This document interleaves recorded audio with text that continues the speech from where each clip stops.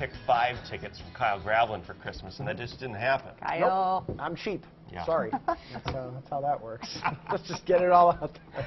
All the cards on the table. Hey, uh, tracking some snow for later tonight, Yes. right? So the time frame for most of eastern Nebraska, really northeast Nebraska, is where we expect the heavier snow, 6 p.m. to about midnight. Now there are a few winter weather advisories that are in effect: Colfax, Platte County, Madison, Stanton, and Cuming County for any counties that are in the KETV viewing area. But it's going to be kind of a swath of snow from northwest Nebraska that stretches back, or excuse me, northwest Iowa that stretches back into northeast Nebraska. Lighter snow around here. I just don't think we see any major accumulation. Certainly not enough in the Omaha metro to warrant a winter weather advisory. Right now, it's just the clouds, and it really there's just not too much going on across the central U.S., or at least it doesn't appear to be. Lots of clouds, some very light snow showers, a few flurries up there in South Dakota, a few more showers coming off the Rockies. But what we'll watch for is kind of a developing and strengthening frontal boundary to set up over central into northeast Nebraska, kind of stretching into northwest Iowa and southern Minnesota. And that happens later on today, and that's when we'll start to see more lift in the atmosphere and some moderate snowfall to come down. So I think we see at least a few inches of snow in spots up there.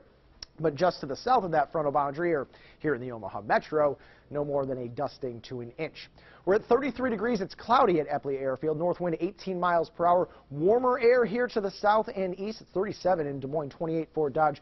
Cooler to the west. So you can there's kind of hints of a frontal boundary around, It's just not a very sharp gradient in temperature. So a stronger front heading into this evening. Clouds here on Storm Predictor heading toward the noontime hour. Could see a few flurries or sprinkles this afternoon, but it's really this evening and early tonight we're focusing on. Between 6 p.m. and midnight here you can see some decent snow going in eastern Nebraska up into northwest Iowa. But notice 12:30 a.m. most of that snow is over with. It will continue in some areas here in northeast Nebraska, and that's where the heavier snow and kind of the bigger snowflakes are expected to fall. We clear out quickly, though, overnight. So Saturday we are sunny but chilly.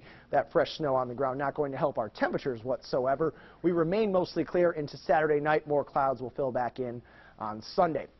So here's our snowfall forecast. Remember, between 6 p.m. and midnight, most of this snow falls. But when making a snowfall forecast, there are other factors to consider. With rain, everything falls as liquid, so it doesn't matter. Snow, you have to worry about intensity, but you also have to worry about what type of snowflakes you're going to see, or what we call snow growth. And I think we see really more puffy snowflakes that accumulate quicker in parts of northeast Nebraska, northwest Iowa. Not so much around the Omaha metro. So only a dusting to an inch around here, but likely some isolated spots in northeast Nebraska where we see some four to five inch totals by early tomorrow. A dry weekend after that, cloudy Sunday and Monday, maybe a few flurries or a light snow shower Monday. We're at 12 for a high on Tuesday, 1 by early Wednesday morning. We rebound to 30 for a high on Thursday. That's your forecast. Now traffic to go. Good morning, Joe Beth